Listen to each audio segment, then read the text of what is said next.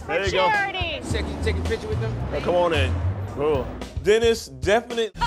But we got a lot going on here today, so.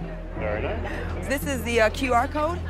You can scan this, Yep. and it takes you right to the Facebook page. Very nice. Everybody got who has a cell phone, pull your cell phone out and concentrate it right here. Like us on Facebook. Everybody scan this with your cell phones right now. We made a barcode Yes. for you. Okay. People can scan when they come up. Nice creativity. That that's good. Okay. And we wanted to make sure we incorporated ourselves with the product, Wow. so I sprayed it in my hair. She wants you to be beautiful with shine and innovation. The barcodes on every single brand messaging that we did. I really wanted him to see that we integrated our celebrity with the product. I don't think that was the reason, in all fairness, Arsenio, right? They loved Lil Jon. They loved a lot of your branding. Okay, tell me why you brought Lil Jon.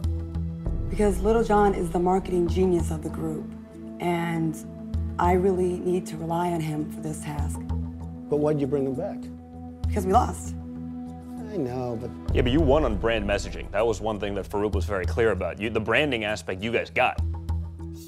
but I sat here and listened to our